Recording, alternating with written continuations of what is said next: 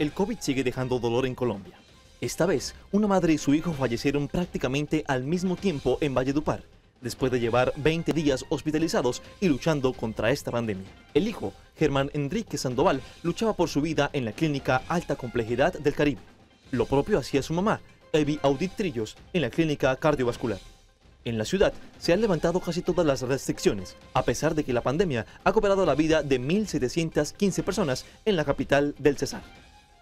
Varias pruebas de la Fiscalía permitieron que un juez impusiera medidas de aseguramiento en cárcel a un hombre señalado de transportar más de 300 kilos de marihuana en el Magdalena. Esta persona o el procesado es requerido por las autoridades para una requisa y al ser requerido emprende la huida y es abordado metros más adelante donde se presume que esta persona, al ser rodeado por las autoridades, agrede a los policías para evitar dicho procedimiento.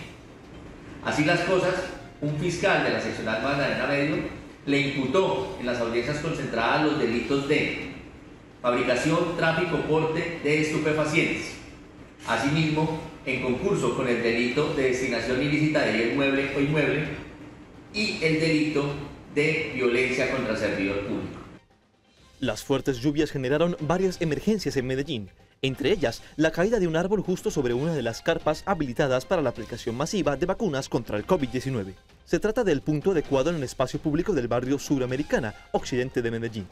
Allí había 12 auxiliares de enfermería y cerca de 15 usuarios, de los cuales 7 salieron con lesiones. Por ahora, no se tiene estimado el tiempo en el que volverá a operar este punto de vacunación.